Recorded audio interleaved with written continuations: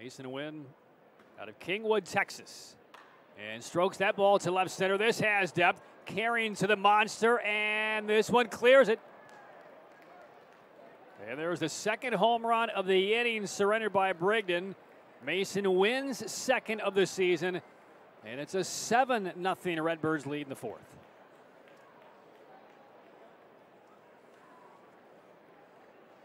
Well, another pitch in the middle of the plate, and Winn catches this out front. His third hit of the ball game. Winn seeing the ball well. Big ball on the third swing.